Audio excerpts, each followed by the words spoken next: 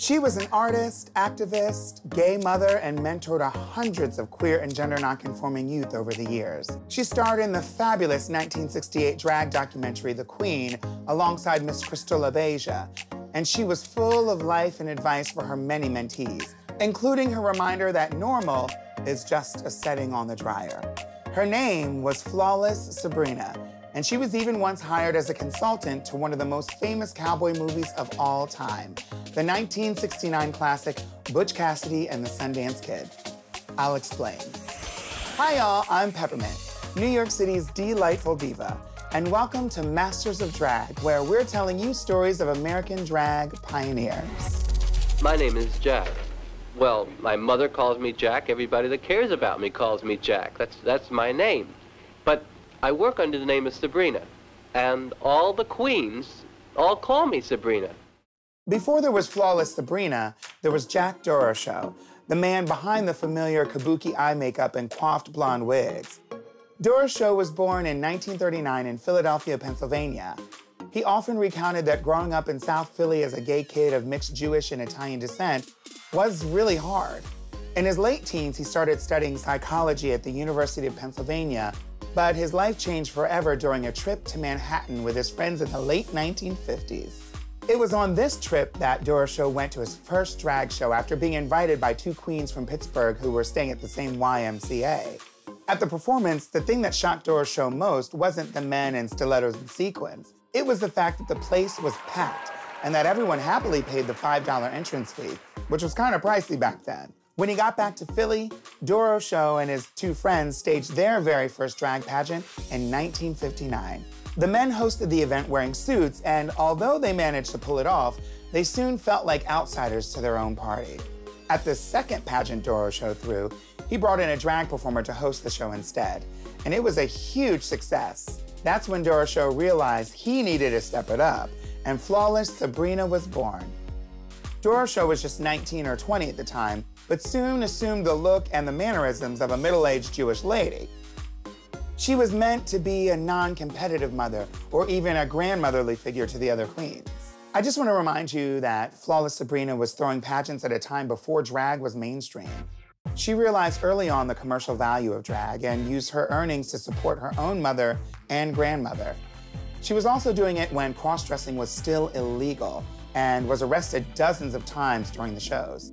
Despite this, her empire grew, and the contest soon became known as the Miss All America Camp Beauty Pageant, a series of drag competitions held around the country that culminated each year in a national show. The great drag documentary, The Queen, documented the 1967 Nationals when Crystal LaBeija contested the winner and wasn't shy about expressing her displeasure to Flawless Sabrina on camera. I have a right to show my color, darling. I am beautiful, and I know I'm beautiful. Now, wait a second, hold it. There's a party after here. Every one of the judges is going to be there. You may feel perfectly free. I'll cart you over myself, and you can talk to each one of them. Years later, Sabrina addressed LaBeija's epic outburst, saying, it was a difficult time to be a queen, and maybe her drama was part of the action. She also noted LaBeija's contributions to the world of drag in forming her own house and her vast community organizing efforts. Looking back on that time, Sabrina remembered the mid-60s as a magical moment in American history, filled with political upheaval. She told the Village Voice in an interview that the country was young demographically, so the draft, sending all those kids to the killing fields, caused America to start questioning the status quo. Once that happened, black and gay rights became part of the inquisitive collective.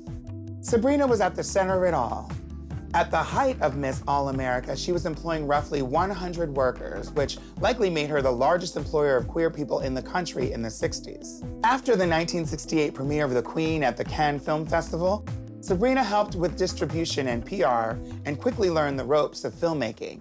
She left pageants behind, hosting her very last one at the famous gay resort Fire Island Pines in 1969, and said hello to Hollywood instead. She quickly became known as an expert in homosexuality in the film industry and used her skills to consult on several Hollywood films. Butch Cassidy and the Sundance Kid was one of them.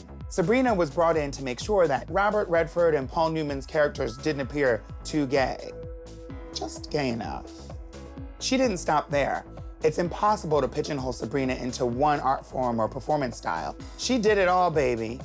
For a while in the 80s, Sabrina moved to Paris, where she was once a private investigator and fixer. In the late 80s, she moved back to New York to be with her partner, artist Curtis Carmen. Sabrina then established herself firmly in the underground art scene, becoming a cultural producer who collaborated with artists on various projects. She was associated with everyone from Andy Warhol and William S. Burroughs, who was an ex-lover, to Jackie O and Bobby Kennedy, who, according to Sabrina, apparently loved the girls, if you know what I mean. Some of Sabrina's most important work was her involvement with queer youth. She was an inspiration and mentored many trans and queer children and grandchildren in her lifetime. Before her death in November 2017 at the age of 78, Sabrina was working on a memoir and volunteering for the Hillary Clinton campaign. According to one of her granddaughters, Zackary Drucker, she was a self-described gender clown who had no preference for pronouns or names, just a zest for life who encouraged everyone to be their best and most authentic selves. Drag history is longer than most of us think, and we're only just beginning.